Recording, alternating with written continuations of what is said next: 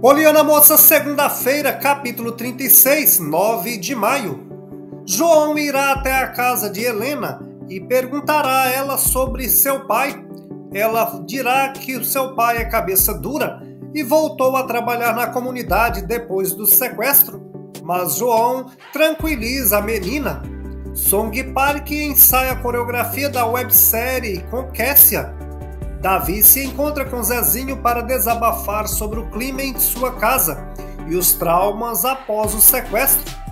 Zezinho conta para Davi e para Pedro e Chloe sobre o novo emprego que conseguiu.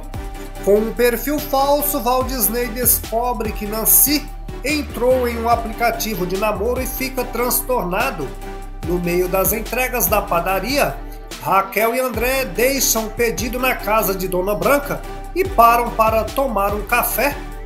Dona Branca descobre que os dois estão ficando e fica muito alegre. Helena e João vão ao clube. O garoto aconselha a novata quanto à situação na família.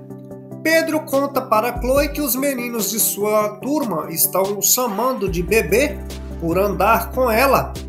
André e Raquel fazem uma guerra de bolo. No jantar e na presença de Elô, Glória pergunta a Renato se ele namora com Ruth. Oliana nota João com Helena no clube e tenta se esconder para não ser vista.